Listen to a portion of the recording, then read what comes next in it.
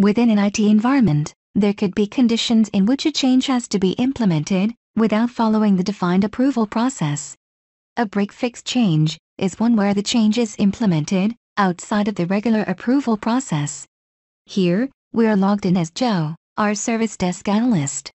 Let's look at the ticket template that is available for logging break-fix changes. From the Workspaces menu, select Service Desk, and then select Request Catalog.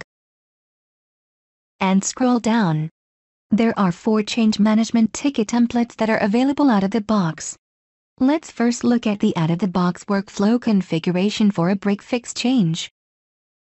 Consider this scenario. Your IT security team has detected a security breach and has to apply the security patch right away to prevent further data loss.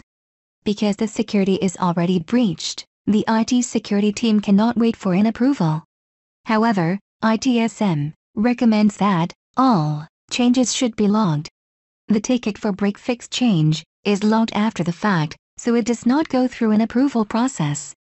However, the out-of-the-box workflow for a break-fix change includes the post-implementation review phase. Let's examine the path of a typical emergency change in the out-of-the-box configurations.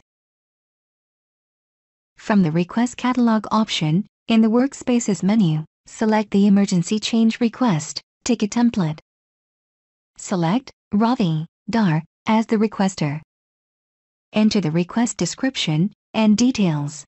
Then, from the Actions drop-down button, select Save. The out-of-the-box auto route for the break-fix change management workflow is now applied. In summary, to the right, we see that the ticket status is set as active and the phase is set as record change. To review the fields that were set by the auto route, Scroll down. We see that the source is set as agent and change type is set as break-fix. Let's look at the workflow actions that Joe has on the ticket. Click the Actions drop-down button. Remember, there is no approval process involved. However, the change needs to be reviewed by change management. So Joe will select Submit for Change Management Review to move the ticket for review. The workflow action sets the ticket phase as break-fix review. The change manager can now review and close the ticket. Remember that you can customize the out-of-the-box workflow for break-fix change by restricting access to workflow actions for closing the ticket to only the change management role.